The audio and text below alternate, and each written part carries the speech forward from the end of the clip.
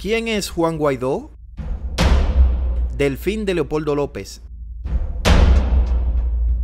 El autoproclamado presidente de Venezuela ha tomado protagonismo ante la ausencia forzada de las principales figuras de su partido.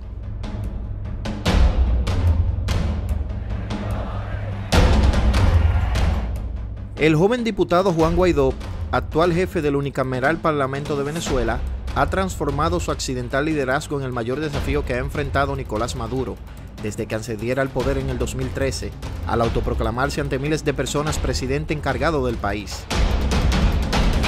Por su autoproclamación, respaldada de manera inmediata por Estados Unidos y varios gobiernos de la región, es otro episodio de la larga crisis política que atraviesa Venezuela y el mayor acto de desconcierto al que haya tenido que hacer frente Maduro. Guaidó ha basado su reclamo del poder en la presunta ilegitimidad del nuevo mandato que juró Maduro hace casi dos semanas ante el Supremo, luego de ganar con holgura los comicios de mayo pasado ante la ausencia de la oposición.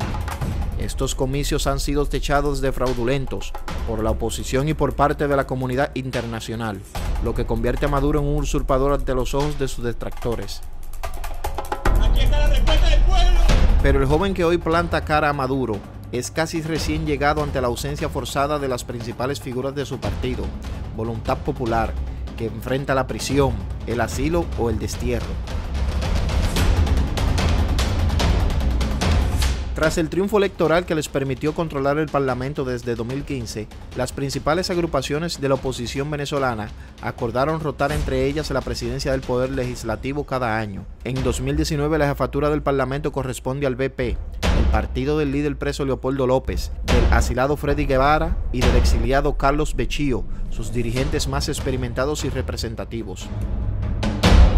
De ese trío, solo Guevara no estaba procesado judicialmente antes del 2015 y por su ascendencia dentro del BP estaba llamado a tomar las riendas del legislativo este 2019, pero se asiló en la Embajada de Chile en Caracas para evitar enfrentarse a la justicia, que investiga su papel en las protestas violentas de 2017 que se saldaron con más de 100 muertos. Así Guaidó, un ingeniero de 35 años con maestría en administración pública, subió a la presidencia del Parlamento y acaparó los focos, convirtiéndose rápidamente en el nuevo líder del antichavismo. En su adolescencia, Guaidó sobrevivió a la tragedia de Vargas, como se conoció a las lluvias e inundaciones que dejaron miles de muertos y desaparecidos, y trastocaron la normalidad de esa entidad federal en 1999. En 2015 participó en una huelga de hambre para exigir que se fijara fecha de los comicios parlamentarios, en lo que fue electo con más de 97 mil votos. Inició su carrera política como líder estudiantil, vinculado por la socialdemocracia, en la Universidad Católica Andrés Bello, hasta que se unió a BP, del cual figura como miembro fundador en el 2009.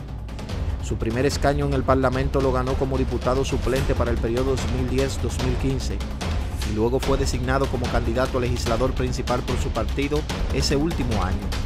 En su trabajo parlamentario ha defendido la soberanía de Venezuela sobre el Esequibo, una zona en disputa con Guyana y que supone un tercio del territorio de este país, y ha denunciado el entramado de corrupción gubernamental por el caso Odebrecht, que según una investigación de la Cámara dejó a Venezuela pérdidas patrimoniales millonarias.